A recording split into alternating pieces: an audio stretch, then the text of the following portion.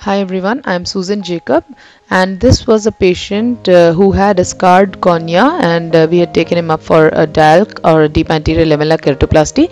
He's a slightly more elderly person and uh, you can see that what I'm doing is measuring the uh, graft diameter that I need to take and once I've done this I trephine the cornea with the desired diameter trephine and uh, then further deepen the cut by using a dissector or a crescent blade and once I've deepened it adequately enough on all sides which is about 80% of the depth I am ready to inject the air.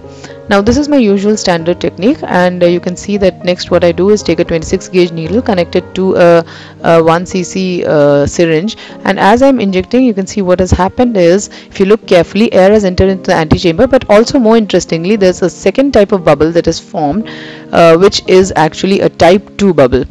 You can see how it differs from the type 1 bubble is uh, that it is more eccentric and it is not started from the center and enlarged circumferentially as a type 1 always does. So this is a bubble that is formed between the Descemet's membrane and the pre-Descemet's layer and this has probably happened because of the older age of the patient and the weaker adhesions between the Descemet's and the pre-Descemet's layer. Now once I have seen that uh, a type 2 bubble has formed, I did not want it to be enlarged further. Therefore what I did is I injected uh, small aliquots of air all around around to get uh, tissue emphysema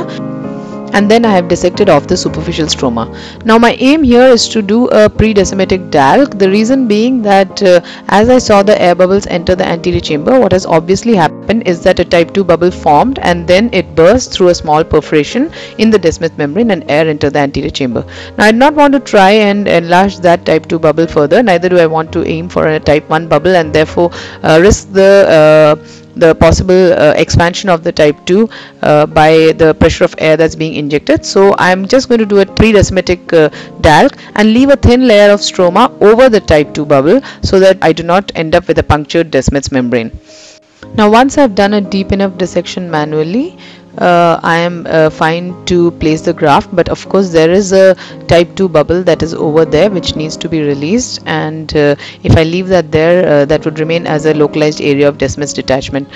So you can see what I did was make a small nick over the residual anterior stroma and now I'm milking out that uh, type 2 bubble uh, so that the air escapes from there and the Descemet's layer comes back and lies against the thin layer of overlying pre-descemetic tissue. Now once I've done that, it's time for me to suture the graft onto the recipient bed. Now what I did learn from this case and also from one other case where I'd experienced a similar situation was that uh, type 2 bubbles can form even in DALK and they generally occur in older corneas probably because of the weaker adhesions between the Descemet's membrane and overlying stroma. Thank you so much for watching.